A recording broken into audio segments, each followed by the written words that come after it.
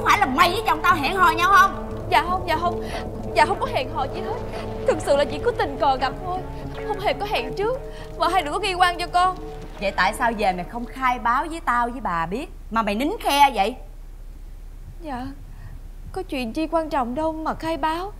Với lại con thấy Gần đây bà hội đồng phải lo nhiều việc Nên con không muốn làm phiền lòng nữa. Mày hổ. Trời ơi bữa nào mày dám lấy bà ra để mà mày mày, mày bao che cho mày hả? Tao nói cho mày mày nhìn tao nè. Từ nay về sau mày xa chồng tao ra. Nghe chưa?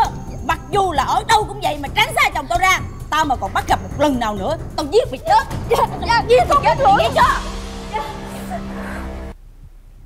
Con Cái con khốn nạn Con khốn nạn Con khốn nạn.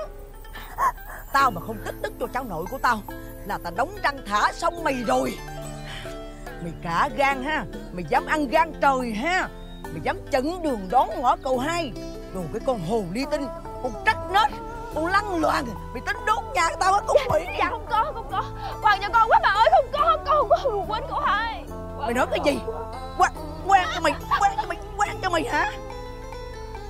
Quỷ cái. Con dâu của tao nó đang có chữa. Nó mà có bệnh hệ chi là tao giết mày chết. Chết. Từ đây về sau, Mày mà đi chợ đó, Tao cho thằng Năm ngao, thằng chú Gà đi theo. Không có để cho mày tự tung tự tác nữa.